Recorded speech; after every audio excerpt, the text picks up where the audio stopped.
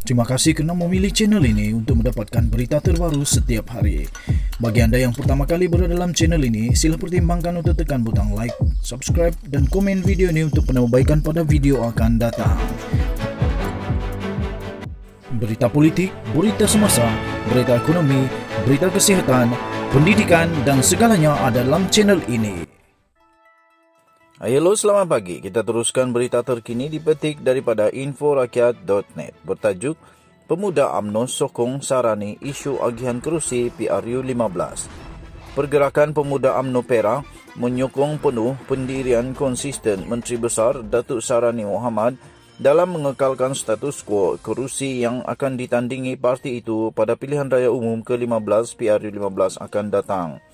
Ketuanya Muhammad Arif Abdul Majid berkata, Pendirian itu bukanlah perkara baru, sebaliknya telah beberapa kali dinyatakan oleh pengerusi Badan Perhubungan AMNO Perak itu.